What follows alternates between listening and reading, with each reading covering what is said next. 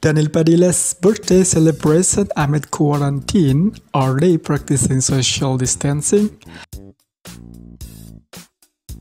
Hello guys, welcome to KD Showbiz channel. Don't forget to like and subscribe. Daniel Padilla just celebrated his 25th birthday in his mansion. Family and relatives gathered to celebrate the proudest of Carla Estrada's son.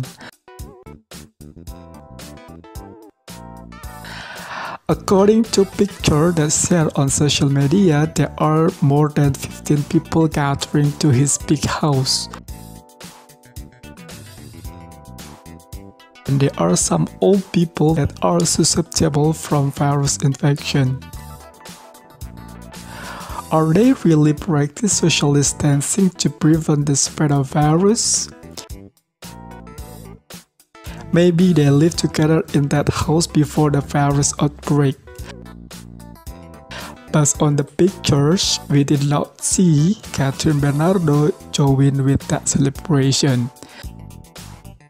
But we can see his sibling from his father join the party, even they are not living there and also his mother's boyfriend joined with that praises celebration. Actually, this is not the first time they are gathering in a big family. Few days ago, Daniel Padilla also gathered with his big family to celebrate Easter Sunday and also barbecue time with his family from his father.